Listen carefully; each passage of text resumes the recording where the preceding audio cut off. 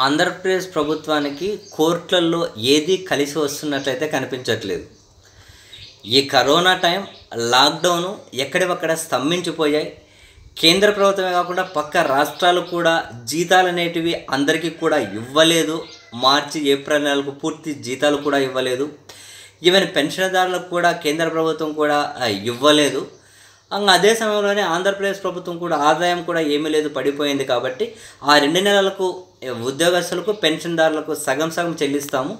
మళ్ళీ ఇదేమీ రద్దు చేయట్లేదు పూర్తిగా. సగం సగం చెల్లించి మిగిలిన సగాన్ని మళ్ళీ కొంచెం కోలుకుంటానే చెల్లిస్తాము అని చెప్పారు. దానికి సంబంధించి ఒక జీవో ఇచ్చారు. ఆ- విధంగా చెల్లించారు. ఆ తర్వాత నుంచి పూర్తి స్థాయిలోనే చెల్లిస్తూ వస్తున్నారు. దీనికి సంబంధించిన ఈ జీవోను విశాఖపట్నానికి చెందిన రిటైర్డ్ జడ్జి గారు ఒకరు ఛాలెంజ్ చేశారు. చేస్తే దానిని హైకోర్టు కొట్టివేసుకుంటూ అలా జీతాలు ఆపడం అనేది కుదరదు. మీరు మార్చి ఏప్రిల్ నెలలకు సంబంధించిన జీతాలు ఏవైతే ఆపారో ఆ ఆపిన జీతాలు పన్నెండు శాతం వడ్డీ చెల్లించుకుంటూ వీళ్ళకు రెండు నెలల్లోగా చెల్లించమని చెప్పి ఒక ఆర్డర్ అనేది పాస్ చేశారు. ఇంకేదో రాష్ట్ర ప్రభుత్వం వీళ్ళ దగ్గర వడ్డీకి తీసుకున్నట్లే ఉంది పరిస్థితి. వాళ్ళకి మళ్ళీ పన్నెండు శాతం వడ్డీ చెల్లించుకుంటూ చెల్లించాలట.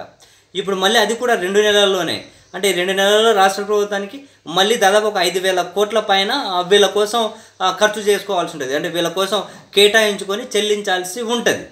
ఇది కరోనా లాక్డౌన్ అని చెప్పి అందరికీ తెలుసు. కరోనా వల్ల కలిగిన లాక్డౌన్ అని ఎక్కడెక్కడ కార్యకలాపాలు స్తంభించిపోయాయి అని తెలుసు.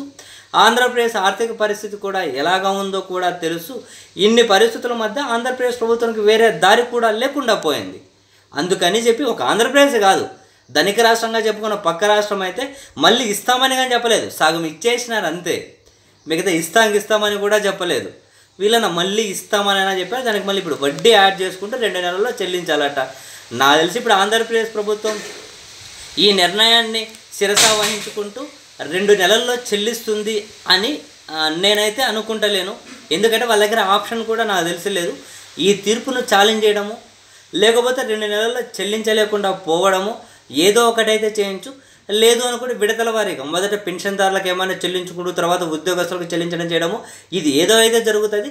రెండు నెలల్లో ఈ కోర్టు ఆర్డర్ను ఐ మీన్ రెస్పెక్ట్ చేసుకుంటూ వీళ్ళు చెల్లిస్తారు అని అయితే అనుకుంటలేను.